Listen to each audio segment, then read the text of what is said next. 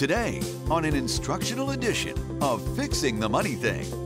If you stay humble and you let the Holy Spirit deal with your attitudes and keep you in the love walk, He's gonna bless you. God's correction is not to make you feel bad about yourself, it's to help you get where you need to get. Gary's introducing us to the other side of faith today on Fixing the Money Thing. So many Christians don't get that part. They trust God, so to speak. They're looking for God to do things, but they don't know their responsibility to make sure it works together. This is the principle of Newton's law. For every action, there is an equal and opposite reaction. We have to know how this thing works to enjoy the benefits of the kingdom. The pressure and speed of the hot gases provide the force needed to turn the turbines and its You got to be involved in this process. God wants you to have every promise, but there's a part you play in it. Do something.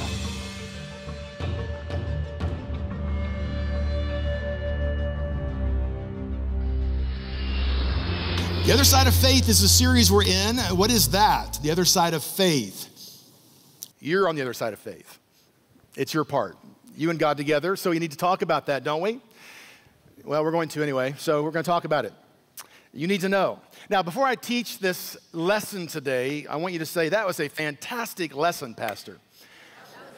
Thank you, because I'm not sure you'll say it afterwards, so I want to make sure that you say it ahead of time. Because the name of the title is The Joy of Correction. Whew, did you feel like just the wind was sucked out of the room right there? It's like, really? It's the joy of correction. All right, let's talk about this. Uh, you know, people don't like to be corrected. Did you know that? But if I asked you if you ever are wrong about anything, what would you say? Yes. Are you perfect? No. Then why do we not like or realize we need correction sometimes? And let's just kind of change the atmosphere. Let's instead of saying correction, let's say coaching. We just need to be moved the right way, okay? Proverbs chapter 13, verse 18. A person who refuses correction will end up poor and disgraced, but the one who accepts correction will be honored. Good enough. We can close service right now. Refuses corrections, ends up poor and disgraced. Hmm. Psalms chapter 23, David's psalm. I'm reading out of the NIV version. You've memorized the King James version, so let me just read here. The Lord is my shepherd, I lack nothing. He makes me lie down in green pastures. He leads me beside quiet waters. He refreshes my soul. He guides me along the right paths for his name's sake. Even though I walk through the valley, uh, the darkest valley, see, I'm starting to quote the King James. Even though I walk through the darkest valley, I will fear no evil, for you are with me. Your rod and staff, they comfort me. So, how many like green pastures? Provision. You like that? Fantastic. Well, let's see. The next thing quiet waters. How many like peace? Good. You're all signing up. How about uh, refreshing of your soul? You're emotionally healthy, you're happy, you're, you know, you're full of passion for life. How about uh, being able to make right paths, which would mean right decisions? How many like to make right decisions all the time? Uh, it's getting better, isn't it? How many like to be safe in a dangerous world, knowing that God's there to help and protect you? Okay.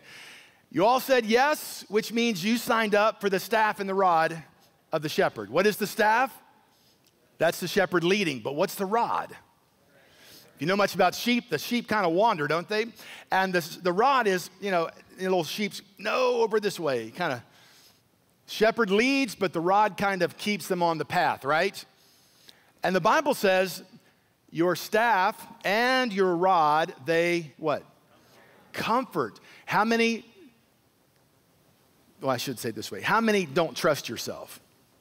All of you should say yes. Because you don't know everything. I need God. How about you? I need the Holy Spirit to tell me and help me. I mean, if I'm going to fall off a cliff, wouldn't you want someone to tell you? Yeah, we need help.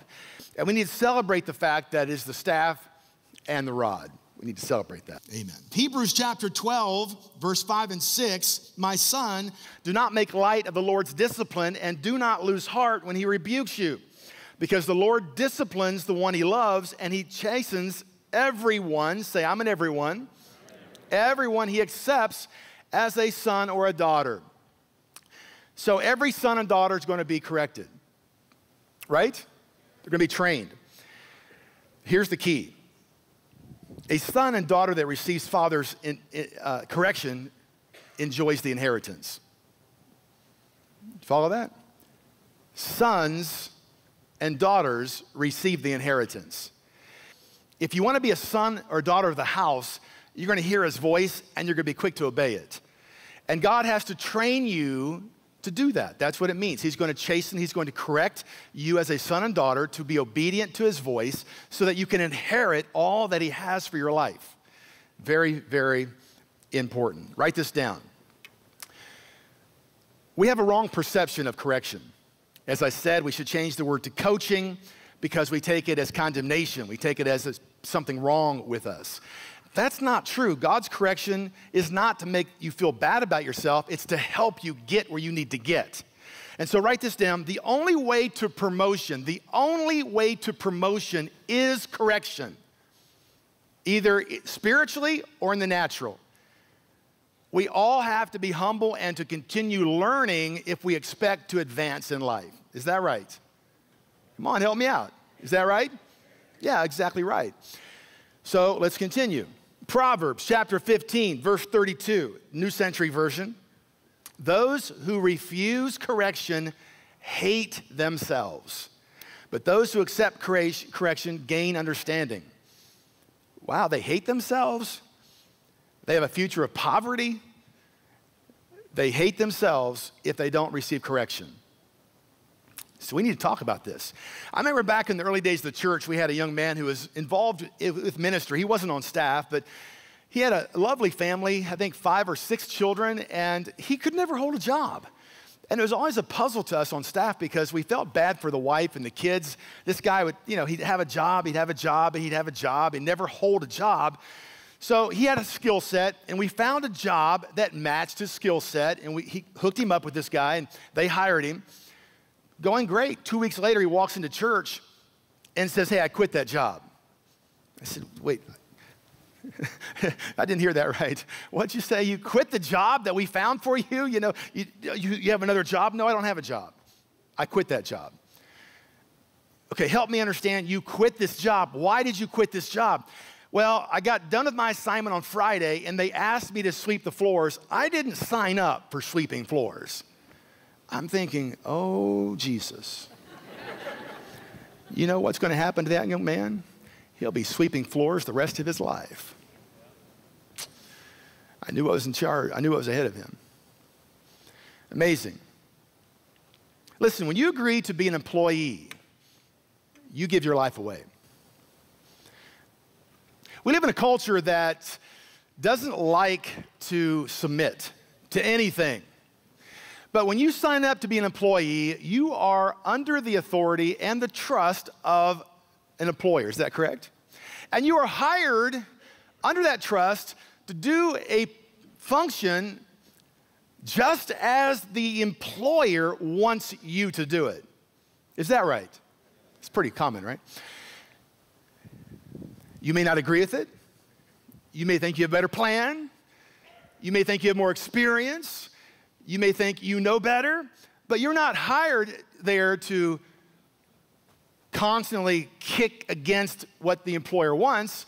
Obviously, you can give advice, you can give input, obviously, but the bottom line is you are under authority. Period. Now, you don't have to work there, but if you agree to work there, you're under authority. And your whole goal should be that employer makes money and that company wins in life. And you are there to serve that employer. This is going over really well, I can tell. 1 Timothy chapter 3 verse 8, Paul telling Pastor Timothy how to pick leaders says, in the same way, deacons are to be worthy of respect, sincere, not indulging in much wine, not pursuing dishonest gain. They must keep hold of the deep truths of the faith with a clear conscience. They must, not an option, must what? First be tested, and if there's nothing against them, let them serve as deacons. What is the test? Is it a question answer sheet that references their resume? So on so and so date, you worked here? No. I found out resumes don't do a whole lot for me. I'm sorry. I've been around long enough. What's the test?